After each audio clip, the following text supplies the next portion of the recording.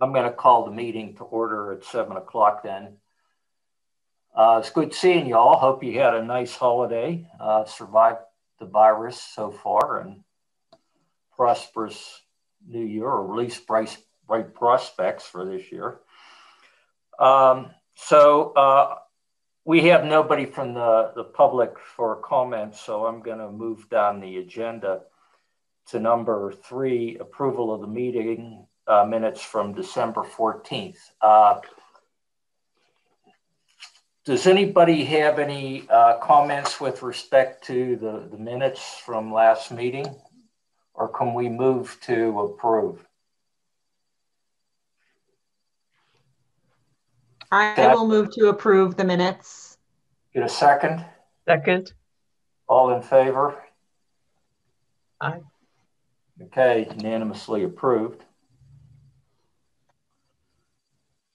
Okay, Nancy, I guess that leaves you up. Okay, um, a couple of my things will be in later, in some of our later discussions, but um, things are, are moving along. We worked on, oh, Nicole confirms no public. So um, we have worked to compile our statistics from last year. Of course, our statistics from last year bear you know, no resemblance to a normal year's statistics. So even though we're going to report them to the state library like we always do, um, I don't think anyone's ever going to use 2020 as a comparison year to see how we compared to other years. That said, I think we've done pretty admirably. It looks like we've circulated about 625,000 items this past year, even though we were, um, we had greatly reduced hours and were closed entirely for a couple months there and, and had very staff intensive um, delivery of services. So our we, hit a record, I believe, the year before in 2019, we're about a million one. So it is a little more than half of, of normal, but considering the circumstances, I'm pleased with that.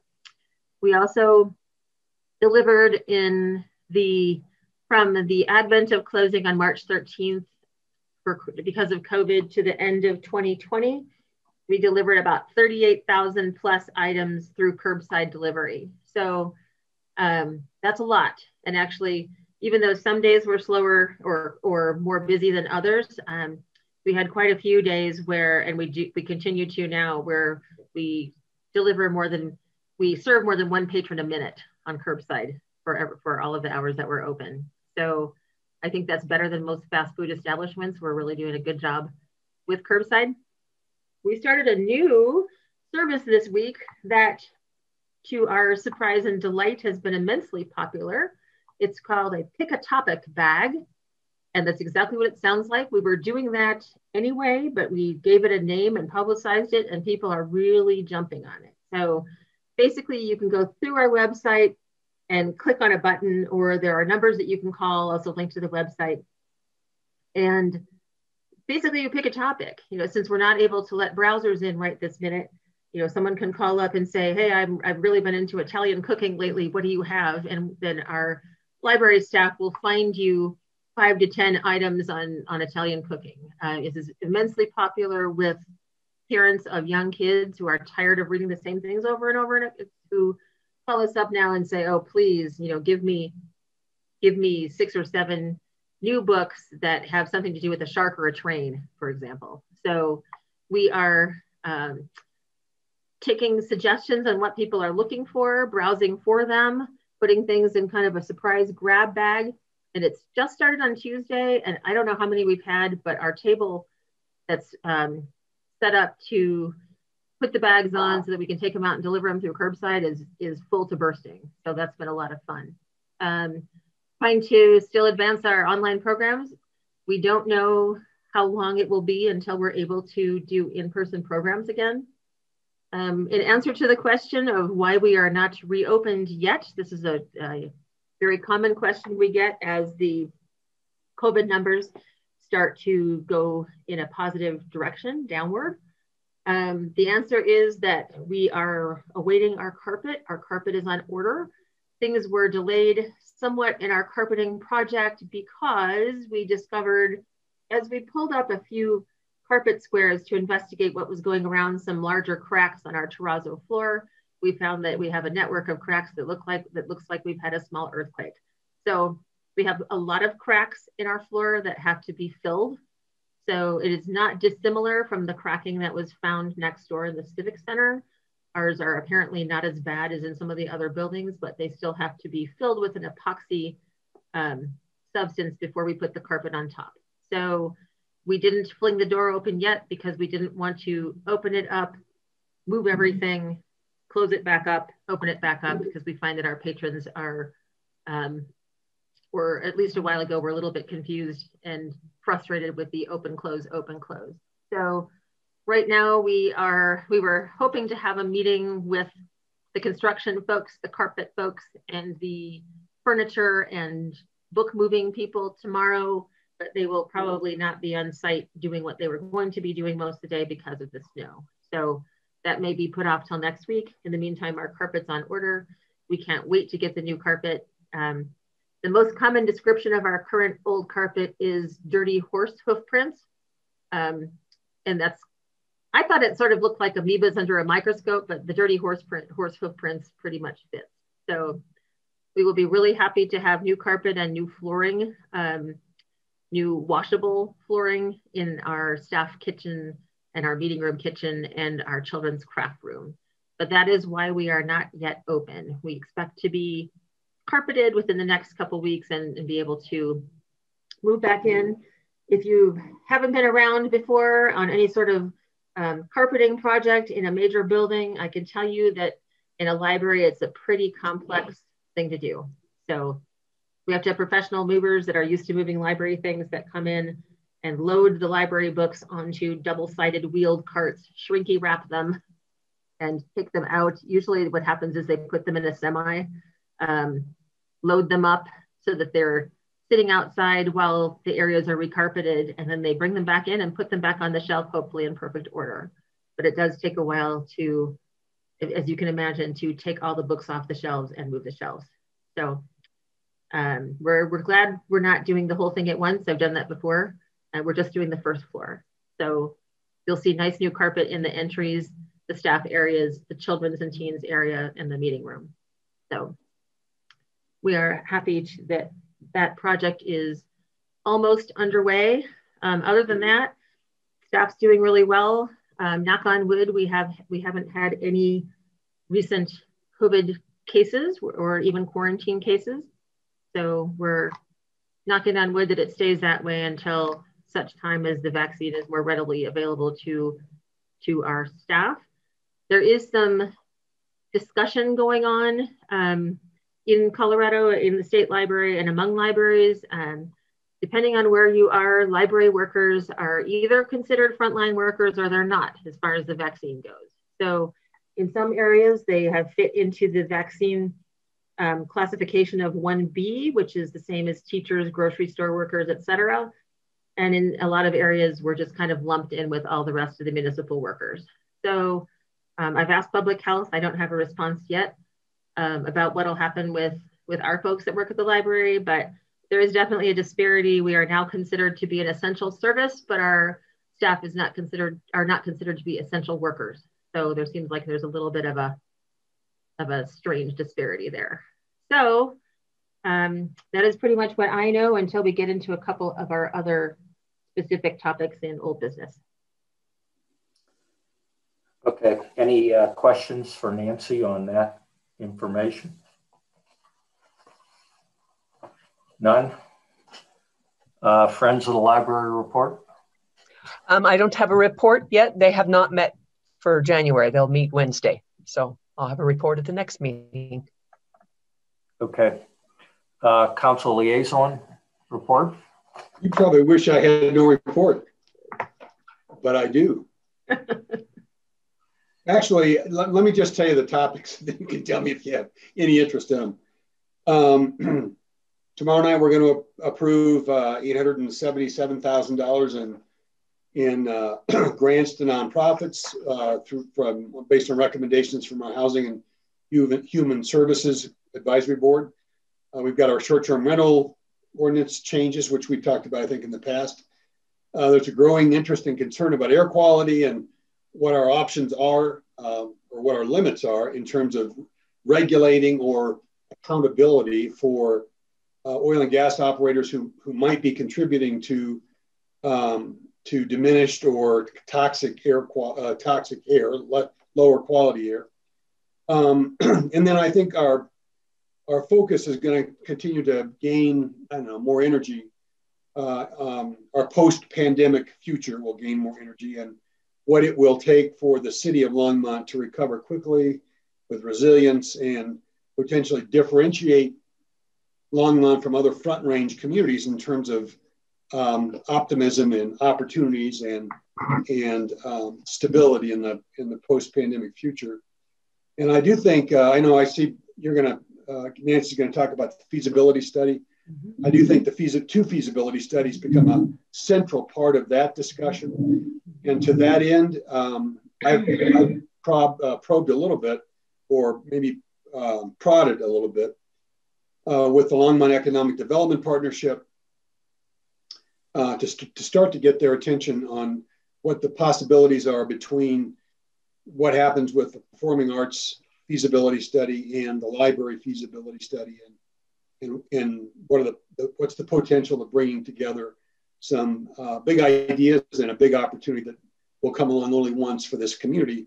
And what that could mean um, kind of as a lead opportunity in the post-pandemic future. So um, there aren't a lot of details until we get feasibility studies but i just think we need to start getting people primed and excited about what's coming and, and see what could be integrated here in a way that gets us more than we might have, more than we might enjoy, and more support than we might be able to generate if we look at these two just totally independent. So I'll stop. That's, you know, if you have questions about any of that stuff or want to follow up, I'm happy to do so. I, I have um, one or two questions on the uh, other feasibility study. What is the pace of that? When do you expect deliverables from that? Um, I wish I could tell you. Um, there have been. It's interesting. We have two two two pretty significant feasibility studies going on, and and for our for the for our locals, both our in this case Nancy, in the other case it's not so much staff, it's it's community members. Um, there are some there's some disappointment uh, in the consultants on both both projects. Mm-hmm. Um, so the, the timeline on that one has been affected not only by the virus, it certainly has by the, by the pandemic, but also by concerns with the consultants and, and what they're producing. So I got a, a, pretty, a pretty detailed update from uh, Bob Balsman, who's the, who's the lead in the performing arts uh, community on that study. Um, my guess is we'll get that one in, in, advance of the library feasibility study, but I don't think there's a date certain. Um, and I know there's a lot of back and forth on what it is uh, they're getting ready to recommend and uh, and what the, we can do with that, what the what the interested parties are going to be able to do with it. So I, I wish, Mark, I wish I could tell you it's you know the end of February or but to my knowledge there is no hard uh, uh, deliverable date uh, to my knowledge. So. Well, I don't think we want to stick our nose in what they're doing, but do you see uh, a point in um, their progress and our progress when we should be talking to one another? Mm-hmm. Yeah, I do. That's part of, I've been trying to signal that for a while. I think, uh, let me add, there's one more little variable, not, not a little, one more big variable here, and that is um, there's an investor group um, I think they're trying to. I think they're talking about their fund as the Evergreen Fund, um, uh, that is trying to generate interest and investors uh, in a fund to make investments, one or more, in the Opportunity Zone, which is all that area north of uh, of this of this of the St. Vrain, right from the sugar mill all the way to Hoover. Um, all that work we did on the steam project is all in the Opportunity Zone. Um, so um, that's where I've started some of this conversation. Is if, if you're building if, if you're building a, an investment fund um, and you're going to look for opportunities, these two feasibility studies are going to present a pretty interesting pretty interesting. Maybe and maybe the biggest opportunity you'll ever have. Uh, now, how how well it's going to match up with what their interests are, Mark, I don't know. But I know the, the the the initial response has been to say, well, let's we ought to learn more about this and and see what the possibilities are. And when the time comes, absolutely, this group, Friends of the Library, the, the our our primary employers in town. I mean, there's a there are a number of of parties that need to be brought together to say, look, you know, let's just explore what's possible. Mhm. Uh, if you want to, if you want to make a, a big, bold presentation to the community about how you could get whatever this group might decide it wants, whether it's that's a, a library district or a dedicated sales tax and keep the library inside the context of the city structure, that's going to be based on what the feasibility study brings and what you all decide you want to recommend. Um, and I'll support whatever you're going to recommend. Um, but I, this is not unlike, in my mind, not unlike what we envisioned the, the possibility could have been with the with the pool and ice facility, Mhm. uh, and putting that together with a with a with a proposed library district at the time. Right, that didn't come together. Mhm. In this case, you put the library together with the Performing Arts and Conference Center, and you have a great. pretty large percentage of the community whose interest you could get, I think some enthusiasm, uh, and you could get a twofer. You could get two big results with with one proposed uh, tax increase. So, so how does this coalescing occur in your mind? The- I think we're going to have to put together uh, at the time. There's going to have to be a, a, group brought together of all those interests to kind of map out what the that, or, possibilities are. or will citizens or will the city do that? Well, I don't think the city will do that. Not, and I don't think the city will do it as a as a government entity. I think it's going to take it'll take council members. It's going to take the leadership from this board. It'll take leadership from the performing arts community, and then making a connection with. Um, I think probably through the Longmont Economic Development Partnership. Um, I think they I think they'll have a keen interest. I know some of their board members are already interested but it'll, it'll be a it'll be a group that has to be brought together with opportunities laid out and, and the mayor can do that the um, the leadership of LADP with the mayor with friends of the library and with the leadership of this on this board Okay, so um, this seems to be in line with some of the thoughts that came out of that Envision Longmont discussion a couple years ago. The- you're talking about the steam project or master plan master plan for the growth of Longmont, principally the Main Street corridor, but I think it extended beyond that and it involved cultural centers and Yeah. hotels and yeah expanded library services and what have you. Um, does that, how does that fit in, uh, do you think? well everything that everything that, that we're talking about right now uh, fits pretty pretty well with envision longmont as well as what we did with the steam project a couple years ago uh, there's nothing that's that's a disconnect or, or is kind of un, unaligned with that and, and and you're right the main street corridor plan which is now being translated into actual planning documents same thing is going to happen this year with the steam initiative um, all that all that is real congruent with you know what what I'm envisioning as a possibility, and I know others are as well. Yeah, I was just probing for fellow constituents. You know, when when the coalescing occurs, of course, you want to bring in as many people as you can. I think to make it Yeah. work. It's just casting a bat for who that might be. Well, I think I think initially, Mark, I think it'll be leadership from from this group, from the performing arts group, and, and business leadership in town, uh, who are going to have to come together. They'll have that. Somebody's going to have to trigger that, um, and that's where the city or the mayor could play a role, or you know, or your elected officials could play a role. Um, but it, it will be a, yeah, well, it, well, it's going to have to. It, it, might, there's a variety of ways it could happen. At the very least, it will have to be a confederation of some kind, right, um, or a collaboration among the leadership um, of of interested groups, and to see whether or not with some facilitation, um, a plan comes out of that that could be coherent and um, and and um, uh, I guess I don't know what better word popular enough or compelling enough with the community to take it seriously. And, and, and do you think this might be a actionable item in the second quarter? Uh, probably, I don't know. I, I, the second quarter, yeah, maybe.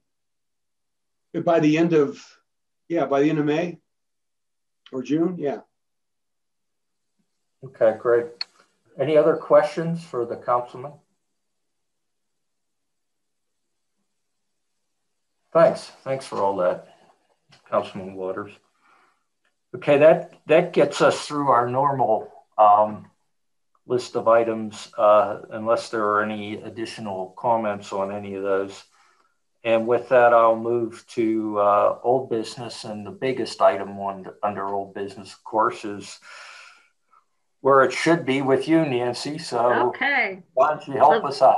This fits right in with what Tim was just talking about. So um, I have spoken with multiple consultants, um, one at length since we last met. I have finished redoing our kind of feasibility study phase two, RFQ, our request for quotes. So that is on its way off through purchasing and through Karen's office and you know other city folks that will will look through that. So um, definitely made some some changes on what we want to see as deliverables in this second phase, uh, which is going to consist mostly of the things that we felt weren't delivered in the first phase. Um, a lot of what we're really looking for, we have a whole, you know, what we got from the first consultant really amounted to a big giant pile of data. And so, you know, what we want going forward is the consultant to come in and extrapolate from this data um, what makes the most sense moving forward for the library. So um, we've asked them to do basically, you know, what, look at the data, um, what would be a low, a median, and an optimal level of service standard for things like um, building size, staffing, collection size, you know, all those parameters. So that shouldn't take too long for, for the consultants to do. I've talked to several who have who I've worked with before have done that very well. But then to take the next step, what we really need is what does that mean? So how do we get there? What are the different ways to get there? Um, there's a district, there's a city, and there's a hybrid. So we really want them to go off into those territories and say what type of funding mechanisms are available for those different entities. So, you know, is there a dedicated tax um, as a municipal library? Is there a district with its financial ramifications and also a difference in governance? Um, is there a hybrid model? And I know that some exist, for example, where you have a municipal library with a governing board, which gives you more flexibility in uh, policy formation, um, in some of the decisions that you make moving forward. So uh, we really want them to take all that giant pile of data that we collected, a lot of community input, and say, okay, here's what we've heard from the community surveying about how people want to, to um, see us move forward, but what does it cost and what are the mechanisms and you know break that down into the graphs and charts of this is what it looks like for your average taxpayer moving forward. Um, the original consultant survey pretty much said, you know, that you can't pay for what you're going to need in the future with with the city's general fund budget, which I think Tim, I've heard you say it like 37 times, and I agree with you because I've probably said it more often than that. So, so looking at what funding mechanisms are out there, looking at what the budget is that we need to provide these updates to services, technology, space, etc. That information is pretty readily available. Um, the consultants that I spoke with did not think that this process would be um, nearly as lengthy as the original consultants took to compile data. Um, so I think, Tim, we're talking only about a couple months for someone else to come in and, and put together what we need. So and I have found several consultants who are interested and available. So um, trying to line up our ducks so that when this is ready to, when this is, this RFQ is ready to go out, we will have a definitive date by which it has to be returned. And we, that, I, that I hope to know pretty shortly. So we, we're making progress. Ready to move forward. Great. Questions, Katie? Do you think that there's any change given the pandemic? I mean, I know. Yeah, I do. Ideally, uh, we're coming out of it, but not for a little while at least. There, there is, and you know, I think that that is a a um, portion of information that I've added to the request for quotes and said, you know, here's what we envisioned pre-COVID, and you know, some things. So we have a little addendum of, of basically the changes in library service since the advent of COVID. You know, for example, you know, we have a lot of patrons asking us to, even when we are fully reopened, continue some of our on, you know, more of our online services. So we've had some of our online programs and services that have proven immensely popular. So there's going to be, I think, a sustained demand for those. For example, bilingual story times. You know, so many people have said, can we please have these online? Um, you know, even when COVID is is hopefully done. So, um, and just just kind of the way we do some things, um, the fact that that we've been talking about the digital divide in libraries for more than 15 years, and that that it's only now really with the advent of COVID that people are taking that seriously and really mm-hmm. understanding that people who don't have internet access really don't have internet access and and even folks who have internet access you know maybe they're doing work at home and they, they can't print they can't do things so you know seeing things where they were used to dropping by the library um, so i think the way we use our space our concept of how we use our space has changed and just seeing how many folks have really been just um, at their wits ends during covid during this period of unemployment et cetera and recognizing that this is the you know this is the first library I've worked in in 15 years that doesn't do computer classes just about every day of the week. We will do that um, post COVID. You know, we're we're already looking at basically how to rearrange the furniture and and you know drop power so we can make a different computer lab and, and teach classes. So I think that it has changed our focus moving forward. So uh, I have a question. So when these the um, consultant, whoever that is, is ready to present findings, um, will they? Um, well, let me back up. Okay. The, the, first set of consultants we had had a series of um, report outs mm-hmm. to try and um, gain acceptance or communicate the findings of the report how do you see the, these new sets of consultants gaining that same communication um, channel to the community? I have expectations of a, of a totally different product. And I guess the product that I am looking for from the second consultant is um, quite similar to the product and product that we ended up with when I was in Bellingham, Washington. And you know, the consultants um, came out, they talked to the board, but they also did the presentation to council. And you know, they they did a lot, they had a lot of visuals, they had a package of so it was um, I think a lot more cohesive and a lot more visual. So You could see, you know, graphically, here's where here's where our library is, here's where it should be, here's where it is compared to peer libraries. Here is what someone who owns a house with this value would pay in taxes to get a low, median, or optimal level of service. It's very, um, it's not as much just a compilation of, of statistics and community input as it is output. This is what this translates to. So I would thoroughly expect them to do a professional presentation or presentations. Well, that sounds great. I, I hope they're they're um, able to do all that because I think that'll really help. I think I think I know a couple of them who have told me that they have availability and who are completely capable of doing so. Good. So. Okay, any other questions for Nancy on this one? Very good, Nancy. I look forward to to getting the uh, final final. Me too. Yeah, I bet. um, okay, I uh, asked to have this discussion on the Moser and the Empson funds added. I mean, we talked a little bit about this um, last meeting, of course.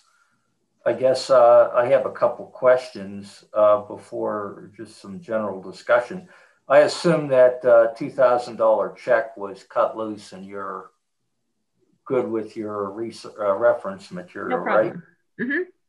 Okay, good. Um, I um, went back in my notes and in addition to what we said was in the Empson Fund in September, back in May 2018, there was almost a million two hundred thousand in the Moser Fund. So between those two funds, there's close to four million dollars. The the fund, but it's not all accessible. I understand yeah. that, but some of there it's is, the there corpus, is. Yeah. some of it's the corpus, and some of it you can exactly. Although some of the information that the councilman sent out suggested that you can, council can rewrite the rules so they can dip into the body of the, the fund as well. It's it's there. I mean, they can do that. I think is my interpret. Anyway, so um, my my point in all that was that's a lot of money, mm-hmm. four million bucks, and um, like this is the discussion part. Is there a role for our group in in terms of making recommendations to council as to how to broaden or change the bequest guidelines so that it's more practical for use by the library when the library has a appropriate and approved project? For, for instance, I think the Empson Fund is tied to research material, and I think the Moser Fund is tied to uh, learning disabilities. That may not be the Mo- the Moser Fund was originally tied to tied to um, visual enhancements, etc. But there is a belief that you know since it is so old and no one from the original Mosher family or Mosher Trust is alive, from what I have been told, um, that should be able to use be used for other things. And we had talked about that for some of those um, for an electronic sorter, which is an automated materials handler. We had talked about doing some of those improvements like um, moving some things around, creating a computer lab, doing some of those type of things potentially with that money. As far as the Empson funds, that originally was for reference material, but I need to do some digging and see what the background is and if there's still someone around that has any kind of say in how the Empson fund is spent. Because I think that usually what my experience has been that when you have these funds that that date way back, that you're no longer tied to the original um, purpose of those funds. It'd be really well, hard to spend that amount of money on audio on visual materials for patrons. That's you know way before patrons could enlarge a font a font on a screen and see things, and you had to have you know readers and and um, devices. But well, my guess is you're more right than wrong. I mean, I, I would guess that whatever um, governance was there through the estate is, is passed because of the passage of time. And that um, there are those protocols that are out there that, that came from the original bequest. And it seems to me that um, if we're allowed, that maybe, maybe it should be an activity of the advisory board to at least put together some language as to how to um, suggest that those funds be looked at going forward and what kind of governance goes on. I don't, I don't think um, it would be in the library's best interest or the city's best interest just to throw it open and say whatever you need, take take from time to time. I think there there needs to be some oversight there, but there needs to be some rules surrounding that oversight. Yeah. I mean, we're right now, we're actually Well, working, out to, the, to our group. we're actually working on a concrete proposal of how to use at least um, a good chunk of the Mosher Fund. Um, we are, we have appointments with four different vendors of automated materials handlers, which are sort, electronic sorters, um, this month, the beginning of next month. And we also, we're getting some estimates on some of the things that we would like to do um, as far as changes go with some of the areas in the building. So, so we wanted to come back and and talk to the board about that and see. I think you're right, Mark. I think at that point, you know, I'd rather I'd rather come in with a concrete list and say, here's what we'd like to do with at least some of it. Here's how much it costs. Um, at that point, proposed deviating from the original, you know, visual materials. Okay, well, I, I would just say that in conjunction with that, the board needs to think about, in addition to that request, how it should manage future requests. Mhm. I mean, it, it can't be just a carte blanche. It can't be like the friends where you come in and say, hey, I need a, you know, an XYZ and they write you a check. There, there should be some parameters around what's suitable and what's not suitable. Does that make sense? Sort of. Sort of. so- I, I don't want to screw with your prerogatives, but I just think that there's a stewardship role here for the board. You do. That's- But on, on the other hand, we, we never have, you know, we have some large ticket items that this library should have had years ago that would not fit into a friend's request or our funding. No doubt, no doubt. It would be my hope that the city would step up rather than dip into this money, but that may not be the case. Well, not since, I mean, uh, my um, gut feeling is that they'd say, well, you have all this money. Why don't you spend this on it instead? so, That's another reason why I'm proposing that we do what we do. So there is some governance to this so that it doesn't get raided. well, if we spend it on some things that we need, it won't, it won't be there to raid. So, That's right. yes. That's right. But you can't spend it all. So Mark, I see Tim's hand up. uh, the, uh, I don't think there's any way the city could raid this. I guess the council, I guess the council could, you know, somebody could put an item on the council agenda uh, for council action to change the, the, the limits or the constraints or purposes of the Mosher Fund. Um, in the, in the, when the, in the first correspondence I had with Jim Golden about this now almost three years ago, um, I think at that time there was like five hundred and seventy-three thousand dollars that had, had accumulated. I'm so it's north of that because it's now several years later. Um, that was uh, that was um, uh, that was growth over the original, you know, kind of principle um, that would was available to be spent. Um, and it was my understanding at the time that that this board could decide to change to redefine the purposes of those of those funds. And then in the in following up from the last meeting with Jim, then I got then that email looked to me like, well, it would be a council action, but based on the recommendation of this board. But one way or another, right? Um, the, the the opportunity exists to broaden the purpose, right, or redefine the purpose of the funding. Um, I don't know uh, your comment a few minutes ago about about going uh, spending down the principal. Um, I'm not certain where that fits in all the you know that language, but certainly broadening the use of the earnings right from the time that it was it was the fund was created. And I think probably the most the smartest approach would be um, to to assume that you would formulate a recommendation. I think the, the work that Nancy was talking about would be the basis for that recommendation to the council to spend X of the 500 now and 80,000 or 90,000 or 600 or whatever it is, um, at least of the earnings. If, um, if you wanted to recommend that you spend down the principal, I think that's a different conversation with Jim that we ought to get clearer on whether or not that that's the prerogative of the council. Yeah, uh, this, is just me. I'm not speaking on behalf of others on, on our uh, board, but you know, I, I strongly agree that, that the, the funds should be repurposed because they're not satisfying much use right now. The, um, the reason I asked the other questions was because you sent out an email to Nancy and I that that was from Jim Golden back in May of 2018 that was talking about the Moser Fund.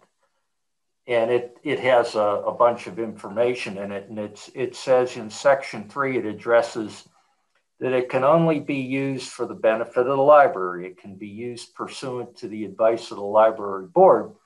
City council has, has to designate its use let's see, city council has to designate its use, it indicates by resolution. An appropriation ordinance would also be required. Notice that it also does allow city council by ordinance to authorize use of the corpus as well for the library. So it has to go to the library, but they could spend it down, or you could spend it down if you chose. I would I would argue against that because then I think it depletes the asset, and then there's there's you know there's nothing in reserve for for your rainy day. But um, that's with respect to the Moser Fund. I'd like to get something on paper that we recommend as a board as to how council should approach the use of these funds. And um, what safeguards should be in place so that they uh, they remain there for the use of the library going forward. That's my recommendation.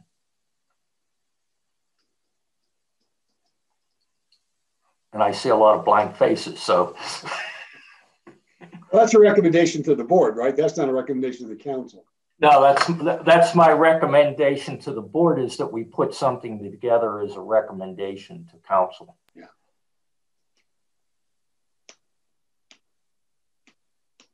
Like I said, we have multiple things that we have considered. Um, so, you know, I can put that together as a recommendation to the board. And I think going in with a recommendation of how we want to spend some of the spendable part of the fund at the same time as is is making sure that we can spend it is probably a good idea. So that it's not just this loose amount hanging out there. I like your idea of having some structure to that.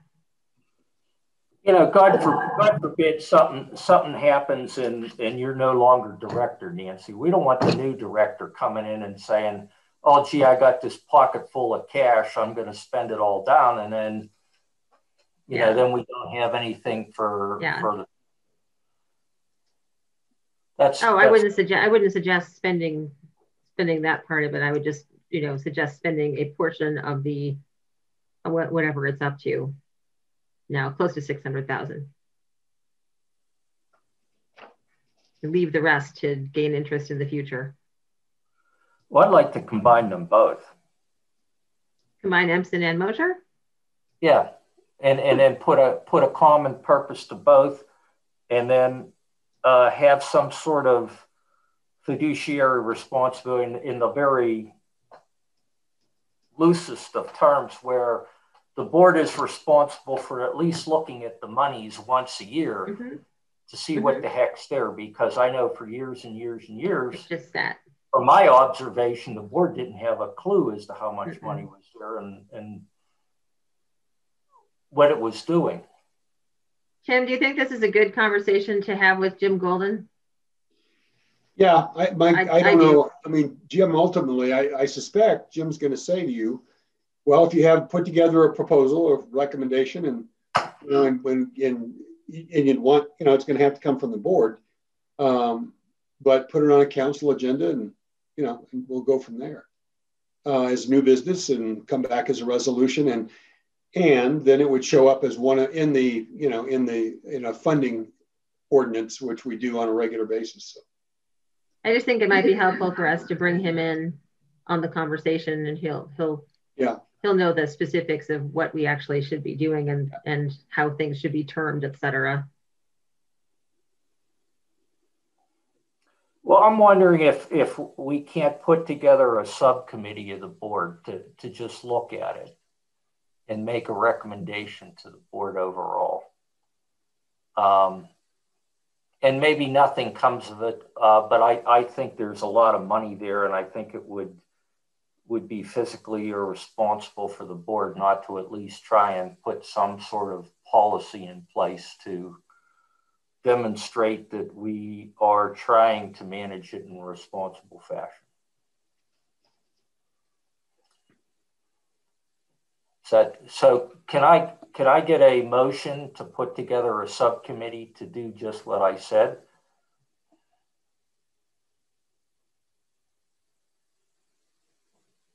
Can I get a motion to do something else? Uh, I can try to reword it. Um, I move that the board puts together a subcommittee to look at how the how how the library I don't know uh, how how various funds are utilized by the library in the future. Is that what you're thinking? Or you want do you want it to be these specific funds? Um, let me try. Uh, I, I I move that the board puts together a subcommittee to consider a more a more flexible means of managing the monies in the Moser and Empson fund for the future use of the library. How does that sound? Second. S second? All in favor? Four, five, four out of four? Okay. So can we get that in the, the notes, please, Catherine? Now we need the subcommittee. Do we have any volunteers? Do we have any financial types out there?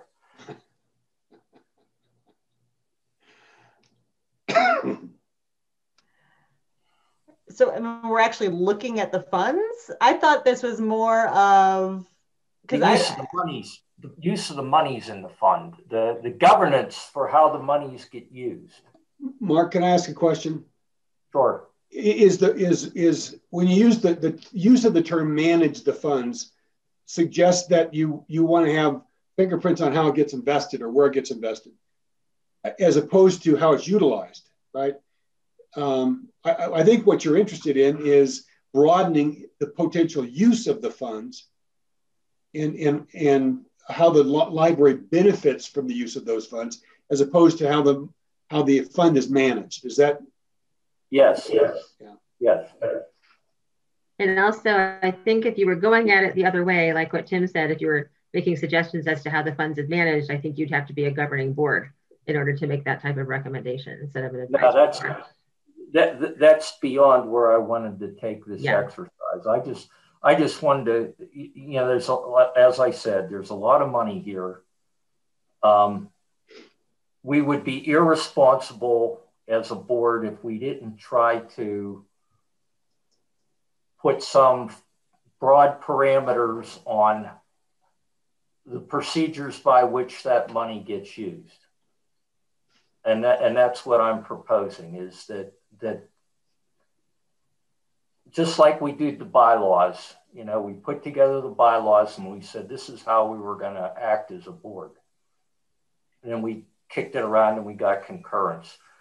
And I would see that as, as the same exercise here as we put together some broad statements as to how we think this should be addressed as a board.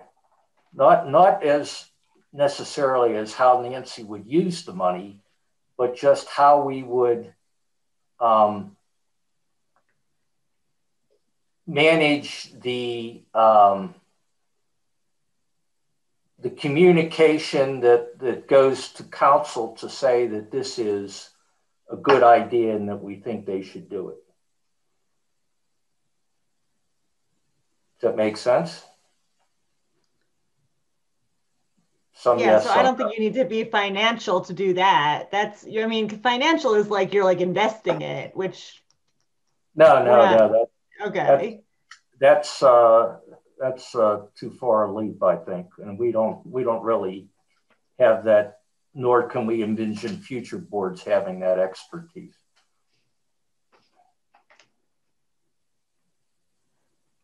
I mean, I can put something together. I think it's probably like an annual state of the funds, right? Like something Yeah. along those I, lines. I would I would say that and um, um, like like when um, so Nancy comes up with a great idea. It's going to take a couple hundred thousand dollars, and we're going to dip into the funds. Does that does that carry with majority consent of the board? Do you need super majority? Do you need unanimous consent of the board? Something like that. Do you, you know, does does does it not go forward unless it goes to council first and council approves it as well? Yeah, just stuff like that. You know, how how do you how do you demonstrate to the public that yes, we were responsible in how we managed this money? Can I ask what happens to the funds if the library becomes a district and a singular entity?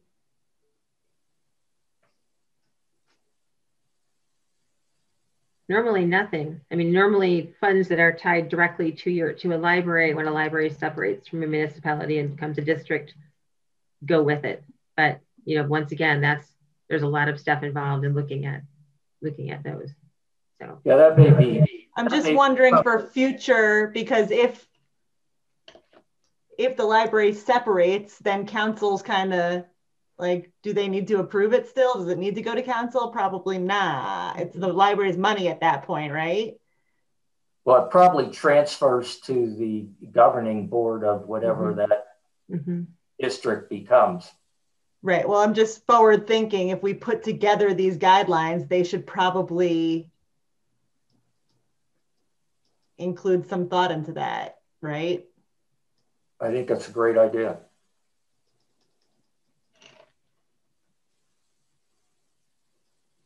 And I, you know, this is, I don't see this as you know, a one and done kind of thing. I think it'll take a couple iterations till everybody feels comfortable and Nancy feels comfortable, Tim feels comfortable that we put something together that's both responsible but also workable. And uh, we don't want to handcuff the, the library in this process.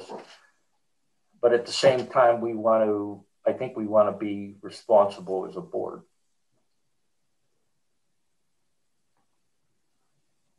I think it will take some mulling through because there there is that fine line too between the responsibilities of a an advisory board versus a governing board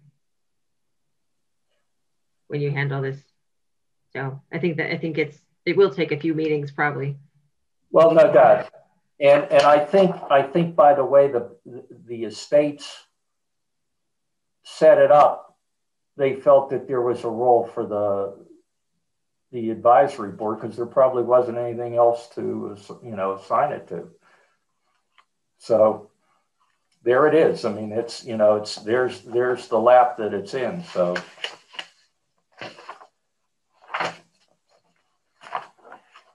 Take a shot at it, Katie, and it, you know, we'll kick it around. Does anybody want to help Katie? Do you want help, Katie?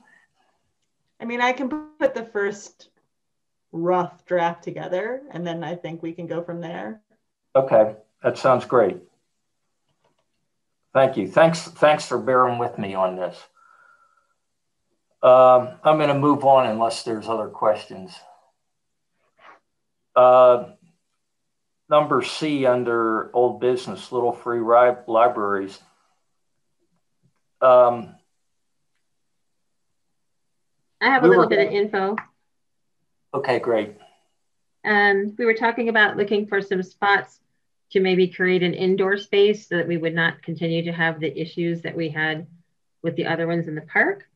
And I'm not, uh, and um, I made a delivery this week to the Suites, which is a Longmont Housing Authority affordable housing facility. And they had requested um, to have some books on hand for their residents, and we were withdrawing a whole bunch of stuff. So I, so I took a load over there, and they may be one spot that's interested in future in having a. They have bookshelves, but it's a little free library, and, and we've had several other suggestions for from staff that I'm looking into. Um, some are city facilities, some are not. Um, one person had on our staff had been approached with someone from Salud, the um, healthcare clinics who um, take care of a lot of our folks that are English second language, and they had expressed some interest in having some children's books there that they could hand out to their patients slash clients. So we are we have been looking into several different possibilities so far of kind of an indoor free library location. So we, I'm not saying that we couldn't put a little free, a cute little free library somewhere, but but you know, after the third time when they were smashed to bits, it was a little bit disheartening. So maybe if they maybe if they didn't have a that's all great, but maybe if they didn't have a meeting or the friends didn't have a meeting, we were going to throw something in front of them mm-hmm. as to whether they wanted to take ownership on this. Mm-hmm. And they Did still they and they still could. They could. But I mean, but we haven't, they haven't been broached on the subject at this. No, point. they haven't had a meeting yet. I was going to bring that up as part of my director's part of the Friends meeting on Wednesday. So okay, great. But we great. have been look we have been looking for some some indoor locations for both adult and children's materials. Um, we were able since the Friends have not been able to sell the lion's share of their materials this year, and we had accumulated quite a few um, donations, even though we were ostensibly not taking them for a while, people still left them on the doorstep pretty much. Um, so we passed out, for example, a ton of um, children's materials at the free lunch programs that were at both by St. Vrain School District and Children, Youth, and Families. So, so definitely looking at some, some maybe different ways, kind of outside the box, little free instead of just the traditional you know, cute box on a stand little free libraries because I think that there are still places that could use some free books. Very good. My goal of this was to try and get the library out of the management of it. I'll pitch and, it to the friends. And and you didn't, I mean, you didn't, let me try this again. You are not the original recipient of the books, they are the friends. So if they were up to it, then they would be a great uh, source of books for little libraries if they chose to take on that role. Well, it's all kind of the same pot. I mean, we were taking we were taking books before to put in the little free libraries that were given as donations or that were discarded library books before they ever hit the friends.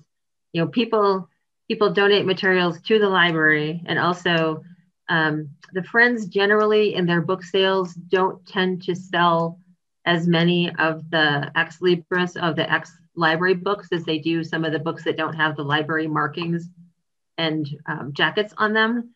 So the kind of things that we like to donate um, elsewhere potentially that end up going to a, a wholesale hauler after the friends sales when they don't sell are the things like like you know James Patterson has a new book out and we buy 15 copies. And then after a few months, you know, we might need to keep three of them and we have multiple copies of these materials. So those are the kind of books that we tend to, um, we do talk to the friends first. We don't just, you know, take the books, but say, hey, can we, can we appropriate some of these donations for these other purposes? And this is pretty typical in libraries. I've given to invite to teach programs, to Books for Africa, to medical clinics, etc. Because we always have more books than we can than than sell at the book sales in the Friends. Okay, well, um, leftovers. Um, yeah, I, I, it wasn't my intent to get in the middle of any of that. I was just hoping that the Friends would take a greater role in supporting the little library. So you know, Give have a, a conversation and see what they say. Okay, folks, this is what everybody's been waiting for. election of officers for the coming term. Do we have anybody that wants to make a floor speech? Does anybody have a platform that they want to put forth? Say, anybody have any recommendations? I would say don't nominate poor Cynthia in absentia because she's probably busy. Cynthia did write me. Um, she had indicated that uh, probably in, in deference to Catherine's sufferings that she would take secretary, but she's not. But but she's not going to take it till she comes back. About by the way, does anybody know if she had her baby? I sent her a note and I haven't heard back from her yet. I, there was a away message that said she was going back to work at the beginning of May, but I don't know. I can try and find a, a I can rustle up her phone number and text her. Well,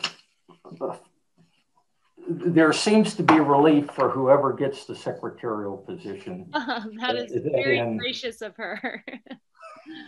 I I was going. I was also going to volunteer to do the secretary. Uh, made it that obvious. I'm so sorry. I've done it. I don't. I. You, nobody should do it twice in a row. Um, but I can't do the. I can't do the friends. Like I can't commit to two meetings. Uh, so. So you go to the friends and take minutes there. No, but if you're if you're the friends liaison you have to go to their meeting, which oh, right. that's it's usually the same week. So it's just not for does it doesn't necessarily work for me necessarily. So that's why I was going to volunteer to be the secretary again. It is actually a little bit easier because you can be typing on Zoom. it is a little easier, yeah. it's true. So well, should we just wait? And I'm fine doing it until we hear from Cynthia and kind of you two could decide between you what is preferable, and I can I can manage for a while here for sure. I I also probably can't commit to another meeting, unfortunately. I I can still be the I'll still be the friends liaison. Yay, Kathy! I'm going to do that. Nobody wants to be president, chairperson. You're doing a great You're doing job. such a great job. Have that presidential air. well, you could be vice chairman. Um, I will share that I have decided to go to law school. So my life is going to change dramatically in the fall. So I can take on something maybe until August, but after that, I'm probably going to have to scale back. You know, I want to stay on this board, but I don't want to commit to anything additional time wise. You should do the vice then. Yeah. That's the least commitment. What does that say? Think of vice presidents. What do they usually do? So, so, so Harris takes exception to that. So usually what happens is the vice chairman steps in when the chairman's indisposed. Well, I could probably manage that. So, um, so let me see if I can sort this out. So, Kathy still wants to be with the friends. Katie's willing to be secretary until Cynthia shows up. Catherine's willing to be vice chair. And I guess that, that means you, Mark. That leaves me. So, um, do we have a motion for that slate of uh, officers? Are you okay being the chairperson in all seriousness? Well, uh, I know you guys back me up, so I'm okay with it. uh, I will move then to to move forward with the elections of the officers as stated. Second. Second, all in favor. Okay. So that's the officers. Um, next meeting date is February 22nd. And um, I have an announcement for the vice chairman. I'm going to be absent that day. It'll be a good opportunity for, for you to go in there and cut your teeth. I'll start doing my homework now. I hope well, you're doing something fun at least. Seen how I've done it, you know it's it's not all that tough. So I wouldn't say that. Uh, any other comments or questions from the board? Council? Nope. Nope. Nancy? No, I'm talked out. It's been a long day. Any words of wisdom to leave us by? All right, then. Uh, I that, did want to mention that we did the craft bag, Nancy. Oh, it's adorable. This for was those, this weekend's craft bag. Know, our children's department and some other library folks, while they're doing other things, put together hundreds of take-home craft yeah. bags every we, week, and we, as many as we put out. We started out with like 25, then we went to 50, then we went to 100, then we went to 200, and people well, specifically to pick them up because people I think are just really looking for hands-on activities that don't involve more screen time. Absolutely. We look forward to them. Awesome. That one's particularly cute. Yeah, that is. I know. Super cute. It is cute. It says that emperor penguin panache. Yeah. And there have been some of them, not as frequently, but there are some um, that have been aimed at adults as well. So nice. So we've had finger knitting and a couple other things, um, kits put together for adults, but trying to find some things that that aren't just screen time is a good thing. Yeah, absolutely. Hey, I was wondering if we might want to send a card to Cynthia. Do you have an address for her? I do. Okay. I don't have it right at hand right here, but I have it. I can send it around tomorrow. Okay. Okay, great. Do that. Great. We want baby details. We want pictures. So she was due the ninth, so hopefully she, hopefully the baby's a few weeks old. Oh yeah, let's hope so. Okay, I'd like to um, move that we adjourn at 8.08. And um, with the exception of the of me, we'll see you all next month. Yep. Where you going, Mark? Uh, back to Florida. Oh, nice. Safe travels. Safe travels.